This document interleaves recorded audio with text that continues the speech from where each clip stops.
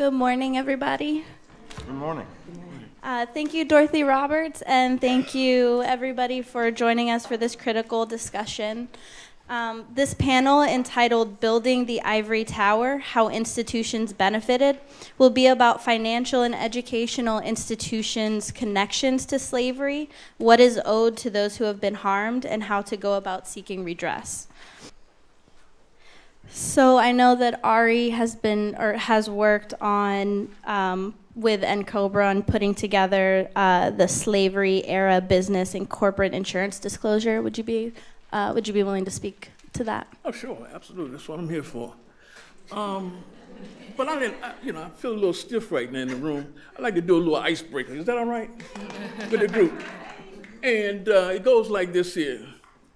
All of, if you believe that Afri- descendants of African slaves in the United States are owed reparation, raise your hand. Okay, look at y'all look around. Keep your hands up and look around the room. All right. Next question. By show of hands, do you believe that reparations will be in your lifetime or your children's lifetime? That's a problem. Look around the room. That's a problem. Yeah, that's a problem. Look around the room. That's a problem. All right? And uh, so I just want to be able to set the reality for us that we have to have a made up mind about this thing called reparations now.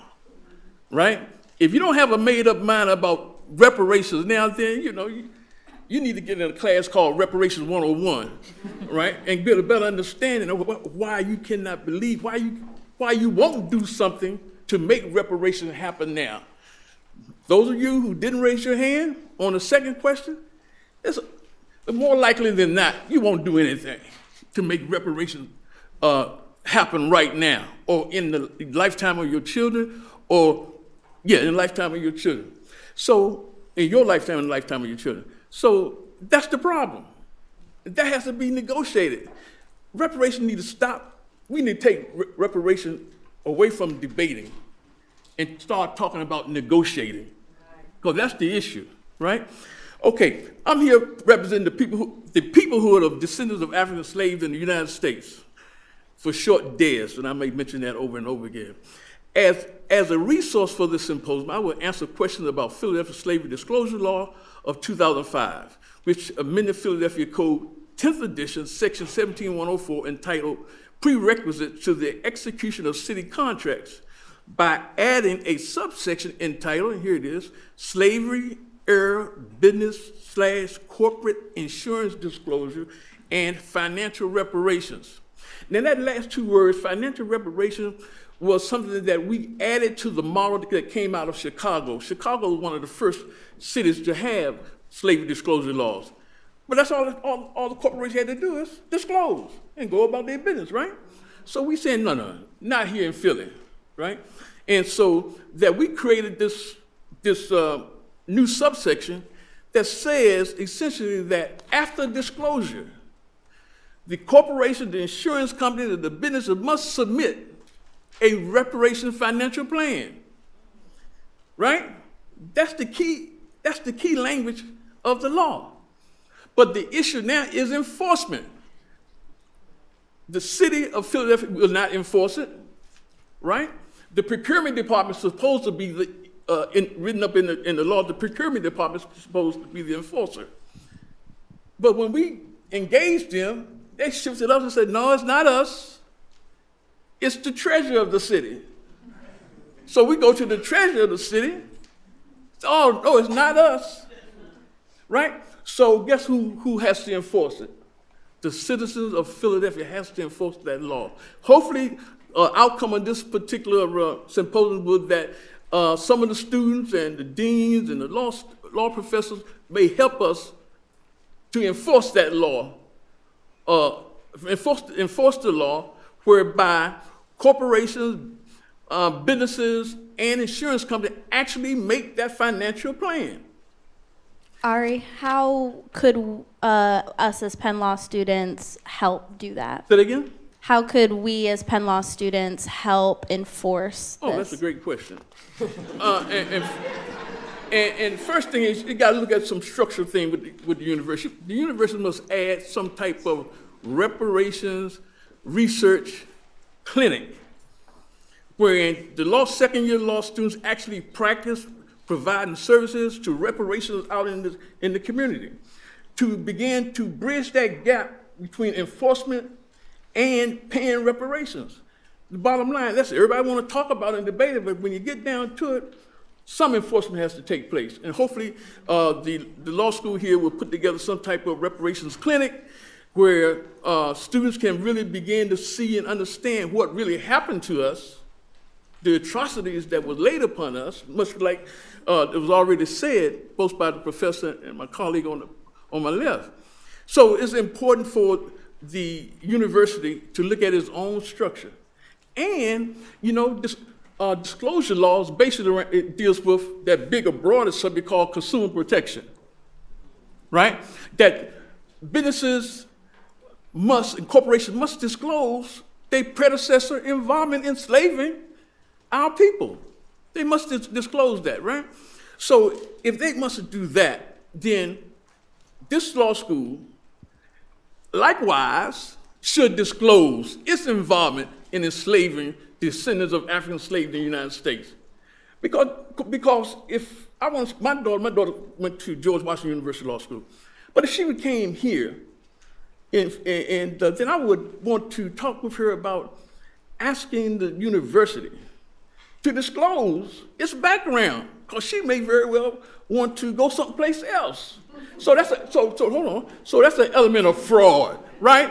When you don't disclose really what the deal is and, and what you're about, right? So the, the, the university has to look at its own self around this fraudulent representation of the University of Pennsylvania, formerly known as Philadelphia College, where the enslavers morphed into um, presidents of universities and colleges. The master morphed into these universities. Um, Craig Steven Wilder, Ebony and Ivy, Race, Slavery, and the Troubled History of America, America's, America's University. Let me read a quick excerpt, very quick, brief. Um, uh, it's basically a review done for this book.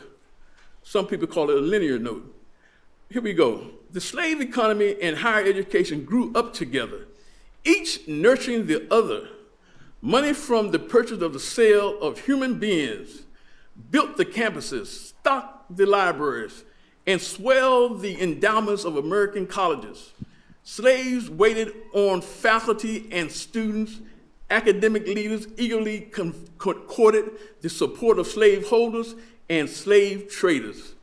Ultimately, as Wilder shows, our leading universities were thoroughly dependent on enslavement and became breeding grounds for the racist ideas that sustained it.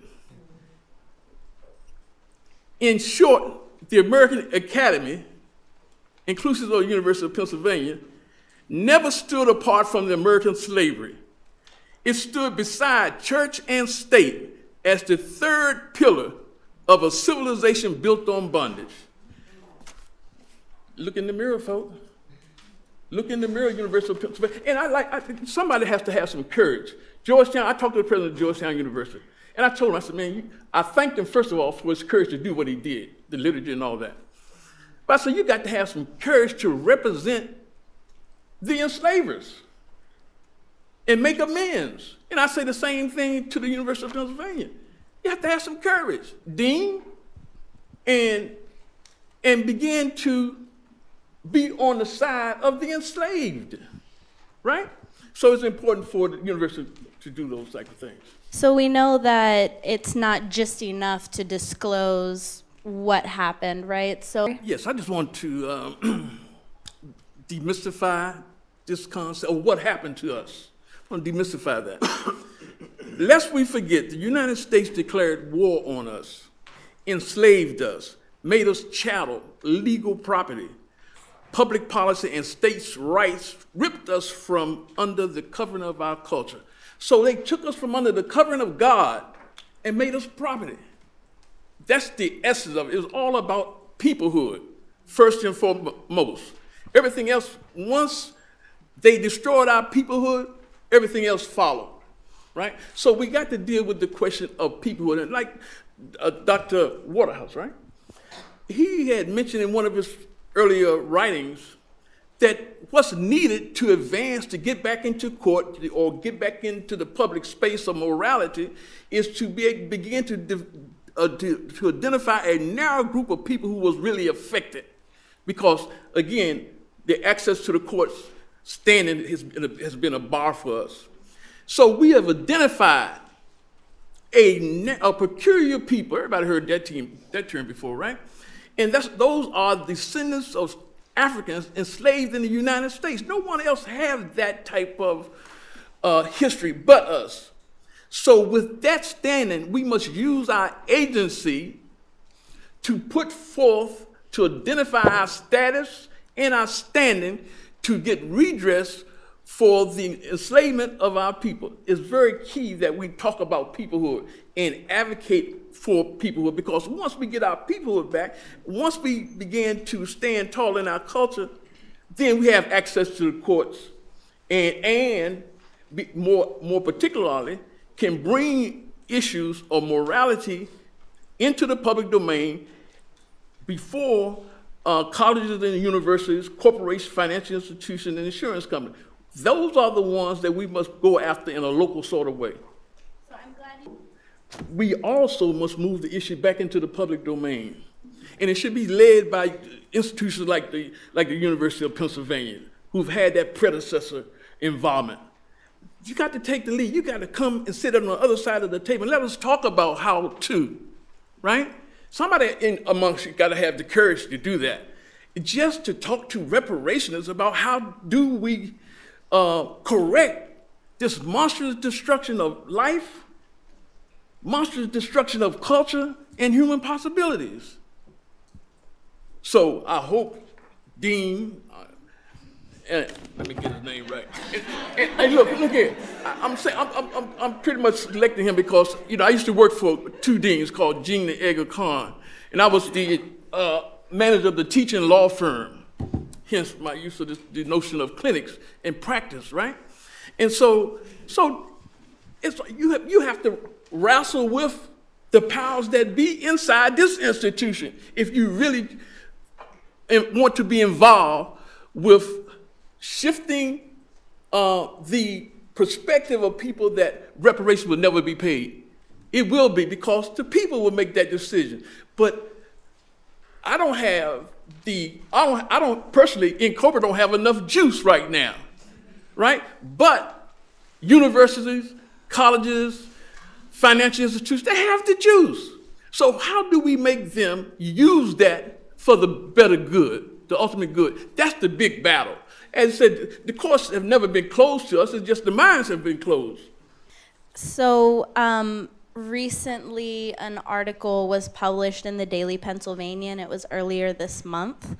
Um, and it was um, an independent student run newspaper, is the Daily Pennsylvanian. And they published preliminary findings of the Penn History of Slavery Project. Penn um, has consistently said that there is no connection to slavery at this university. And um, the Penn History of Slavery Project was a group of undergraduate students who started a couple months ago researching the um, archives uh, in and around Philadelphia. And what they found was that out, they looked at 28 trustees out of 126 founding trustees. So they've, they've only scratched the surface. But out of 28 of those trustees, 20 of them held enslaved people and had financial ties to the slave trade. The university itself as an institution has not yet been implicated, but the students involved in this project are continuing their research. They're going to continue looking into what's been going on. So, what could other institutions of higher education learn? I know that we kind of talked about different ways to get involved, but what could they learn? What could some of the obstacles be that they could face going to yeah, uh, well, look here. I don't know what those researchers was looking at, tell you the truth. But do you know un- what's under Franklin Field? It's an ancestral burial ground. Right? Don't so so it's where you get your information from, what you really want to look, look at. So it's right here on the campus of the University of Pennsylvania. So, hey y'all, somebody got to take the leadership on the other side of the table. I'm on one side, but the other side also got to take some leadership here. And if you don't, then the public will come after you, right? And because the public is getting more and more educated about what happened to us, and they don't like it. And so to, to minimize the tensions, the president of this college must come forth, encourage its professors to engage with N'COBRA and talk about negotiating ways and means that we can solve this problem. We can't do it in two hours. Can't do it in an hour. But we, it's got to be ongoing negotiations, right? It must be done in, with some ethics involved, some morality involved, and we can solve the problem. But hey, if y'all don't come forward, extend a hand across the table, we're going to be going around this circle over and over again. And uh, that's not good because soon, just like the abolitionist John Brown took upon himself to do some radical uh, action, uh, the descendants of, of African slaves in the United States will likely do the same thing. Uh, Ari, are there any obstacles that you faced when you were bringing about the uh, slave era codes here in Philadelphia that could translate or that you would like to talk about? Well, you know, it started in 2005. I mean, it started a little bit before 2005. The law got in place in 2005. And nothing has happened since then. So it's the, the running away from the law itself by the elected officials, the city proper, right? So we have to, and we will continue to deal with the city now, and we, and we will move, make some enforcement moves ourselves. But why do we have to do that alone? Is the question. And um, so, University of Pennsylvania, as I continue to uh, raise that name, needs to come out of its our ivory tower, right, and engage themselves with reparationists to close that circle of abolition. You know, there was a group of folks called themselves abolitionists, right? But now, in this day, we must, the reparationists must close the circle and repair the damage. And that is what I put on the table of this university. Well, contemporarily speaking, let's start with my mother and my father, and her mother and her father. We have a family album. We can identify all of them, right? And so, what we need is a louder voice to uh, push back on that loud voice out there saying that we'll never pay reparations. In fact, Wachovia Bank, in its, in its disclosure statement, said we'll never, we're not going to pay reparations, pure and simple. And that's a very arrogant attitude, of course. But again, we look at the contemporary vestiges of slavery. Look how mass incarceration has affected, every, affected our people. Look at how drugs have affected our people. Look at the denial of education has affected our people over time. So I would like to bring a case where it involved these 70 year olds, 80 year olds, 90 year olds, right? We have to go all the way back to the 1800s, 1700s. Just look at the today. In fact, I would, I hope to be, I'm 70 years old, right?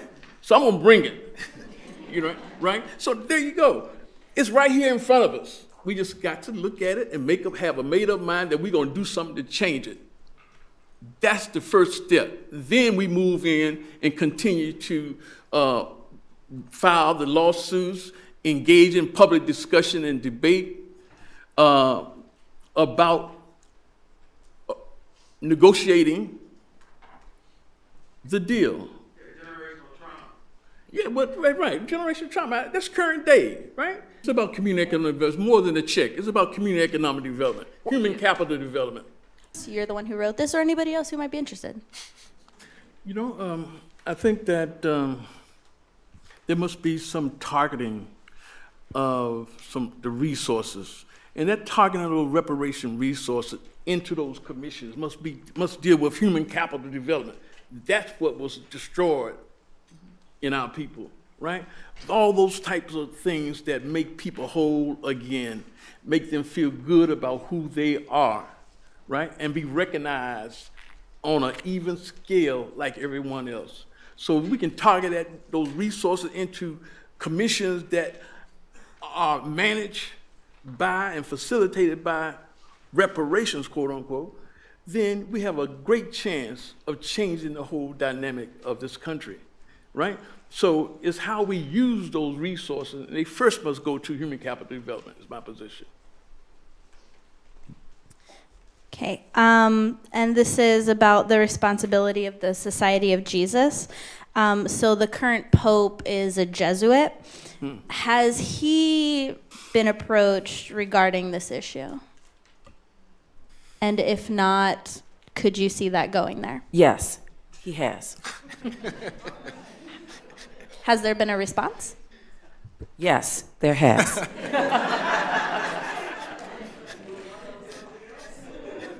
Am I going to share it with you? No, I'm not. well, well, of course. this is a work in progress. Yes, this is sensitive at this stage. Thank you.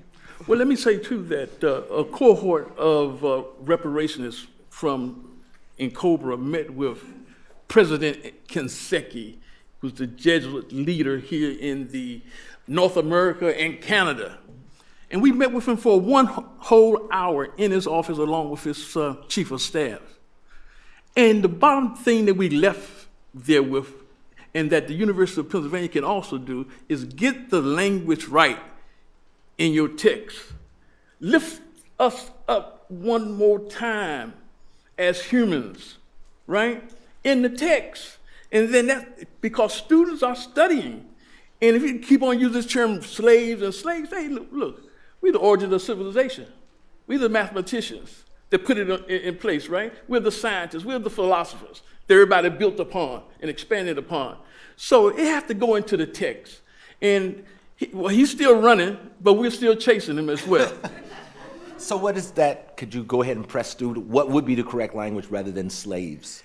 Enslaved. We are descendants of Africans enslaved in the United States, enslaved in Great Britain, enslaved in Jamaica, enslaved enslaved.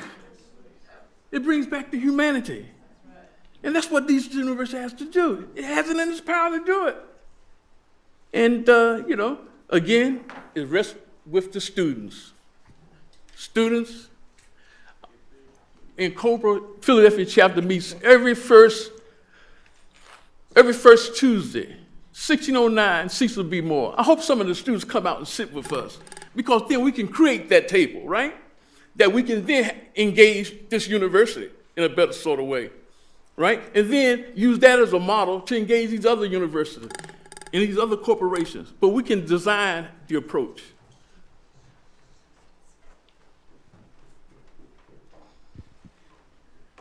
So, this next question concretely, how do we disinvest from the benefits of racial dominance?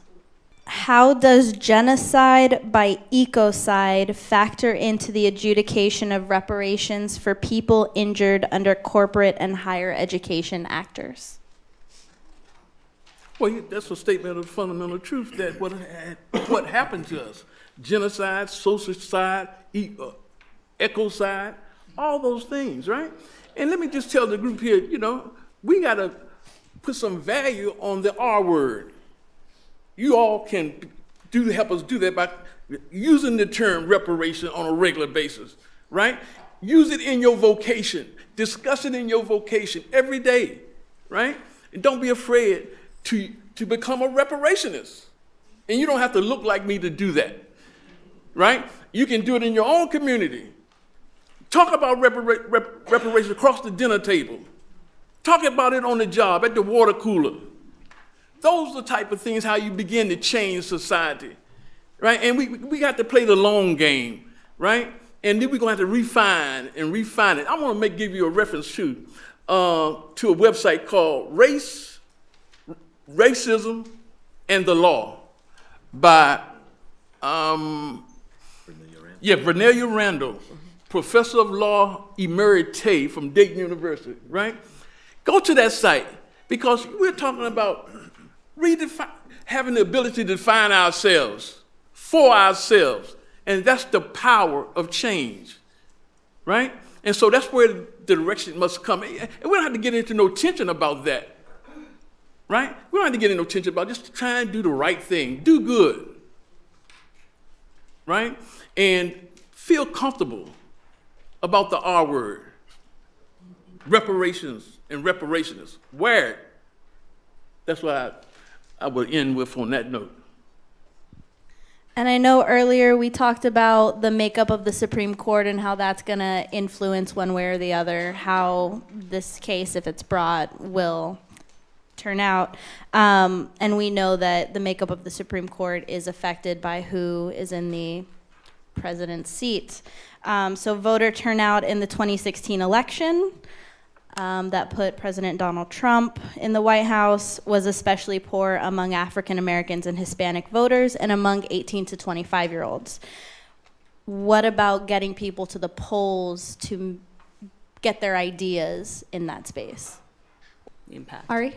Well, first of all, we just have to accept the, the reality that uh, while, and I agree with the sister, that while the reparations was, was billed as an economic piece and that the um, monstrous destruction of life, uh, culture, and, and, and, and, uh, and human possibilities were like collateral stuff. So we got to flip that, right?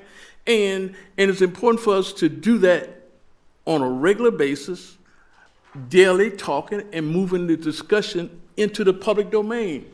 Get it out of the ivory tower, put it into the public domain. Let's have these discussions in an open forum, public forum on a regular basis, right? And uh, so all that will help. So I'm thinking that we need to create the negotiation table in the final analysis. Panelists?